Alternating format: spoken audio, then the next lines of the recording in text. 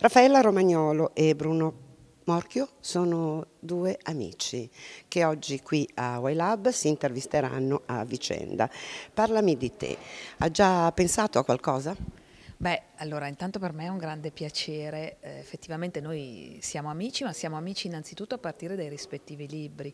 io ho conosciuto Bruno molti anni fa quando è venuto a, eh, dove abito io, a Ovada, a presentare uno dei suoi libri. Io allora lavoravo come corrispondente locale per la pagina locale del secolo, andai a intervistarlo e da lì è partito tutto. Poi dopo un po' sono usciti anche libri miei, lui ha sempre seguito il mio lavoro, insomma è stata è un'amicizia che si è cementata nel rispetto reciproco del, dell'attività proprio di, di, di scrittura. Ecco.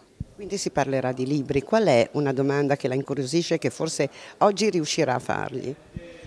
Beh, vorrei capire, anche per confrontarmi in questo senso, che qual è il ruolo che ha la scrittura nella vita di Bruno. Spesso agli scrittori incontri di questo genere si, si, chiede di raccontare qual è la routine di scrittura. No? Eh, le persone spesso sono incuriosite da questo. Bene, io invece vorrei capire qual è il ruolo dire, intimo che ha la scrittura nella sua vita, cioè se lui si vede senza se lui potrebbe sopravvivere senza e anche come ci è arrivato. E allora io le rubo la domanda e gliela giro. Allora, fino a qualche anno fa... Eh, sentivo che era una cosa, come dire, che desideravo molto fare, ma avevo paura di affidarmi completamente. Adesso farei veramente molta, molta fatica a, ehm, a non sentire la scrittura come una parte integrante proprio della mia quotidianità. Insomma. Affidarsi cosa vuol dire e quanto vuol dire allora la scrittura? Beh, è diventato negli anni effettivamente il mio modo non solo di esprimermi, no? Eh, per esprimersi scegliamo tante strade, può essere, so, cucinare un buon piatto per una persona che ami, oppure anche andarsi a scegliere un bel vestito, no? fare shopping, ecco, questi sono sempre ottimi sistemi per esprimere noi stessi. La, la scrittura per me al di più che è quello della comunicazione, cioè non solo esprimo qualcosa di me, ma riesco a entrare in relazione effettivamente. Con Fidarsi significa anche fidarsi? Un po' sì, o comunque è il sistema, il modo che io ho trovato per entrare in relazione, quindi sì. E quindi arriviamo al destino, arriviamo alla sua ultima fatica letteraria, un libro che è una uh, dynasty? Oh! Beh, sicuramente eh, diciamo è una saga familiare, se vogliamo usare un'etichetta. Eh, famiglie, la, il concetto di famiglia qui però è un po' allargato per chi ha la pazienza e la voglia di leggere il libro, perché eh, in questo libro si dice chiaramente famiglia è chi si prende cura, quindi seguiamo per mezzo secolo denso di avvenimenti dall'inizio del Novecento al, al, periodo immediatamente successivo alla Seconda Guerra Mondiale, seguiamo le vicende di questa famiglia allargata.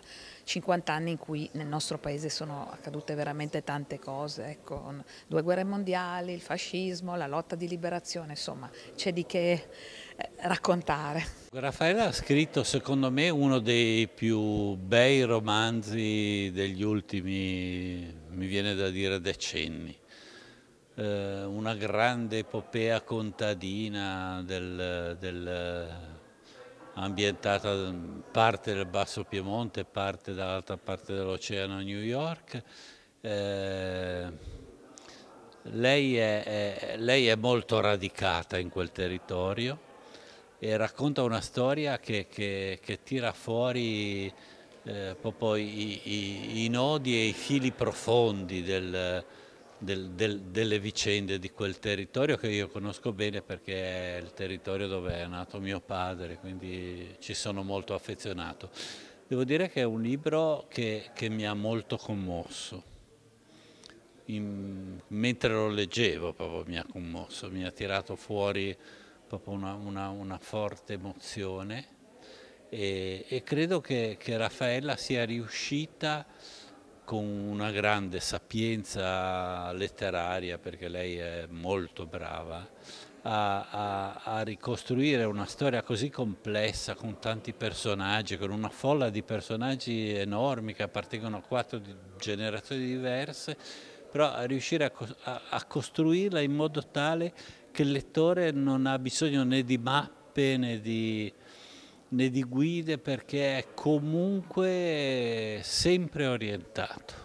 Le sigarette del manager, l'ultima sua fatica, è un manager o non è un manager il suo protagonista? Dunque, il libro richiama un titolo famoso di Vasquez Montalban che è la, solitudine del manager e ha la struttura dei libri di Montalban perché si tratta di un incarico affidato un, al detective di trovare una persona scomparsa, che poi è in genere il ruolo che svolgono i detective privati.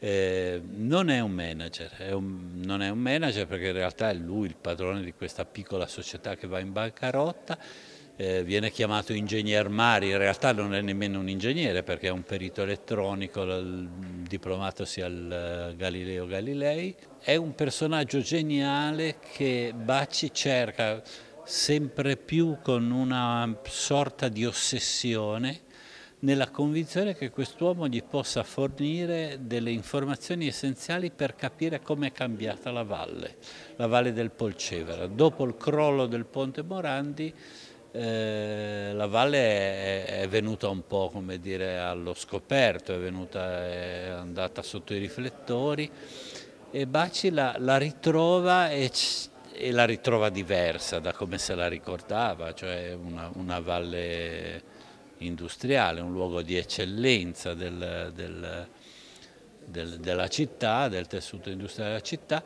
e, e, e, chiede proprio a, e chiede, si aspetta proprio da quest'uomo delle risposte rispetto a cosa è diventata e cosa potrà essere la valle. Con che emozione Bacci eh, gira sullo sfondo del crollo del Ponte Morandi, quali sono i suoi sentimenti? Un sentimento luttuoso legato ovviamente a, a, alle vittime, lui parla di un pellegrinaggio della memoria, una sorta di di, di, di viaggio liturgico quasi. Eh, c'è però, come dire, la, la, la, il tentativo di, di, mantenersi lucido per poter capire che cosa è successo. Ma è il baci di sempre? È il baci di sempre direi sì, sì, un baci in evoluzione perché poi il mio, il mio protagonista è, è, in continua evoluzione, eh, con una caratteristica però devo dire, mh, mm, che, che spicca in altri romanzi ma qui in modo particolare.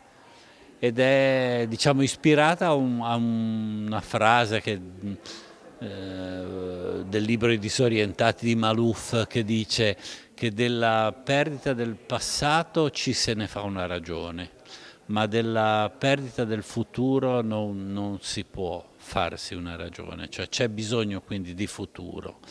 E eh, questo è un libro contro la nostalgia, cioè in una città molto invecchiata, che patisce l'invecchiamento, che fatica a vedere un futuro tutto il libro è proteso a eh, segare la nostalgia, tagliarla fuori, smetterla di interrogarsi sul passato e invece guardare a cosa potrà essere il futuro di questa città.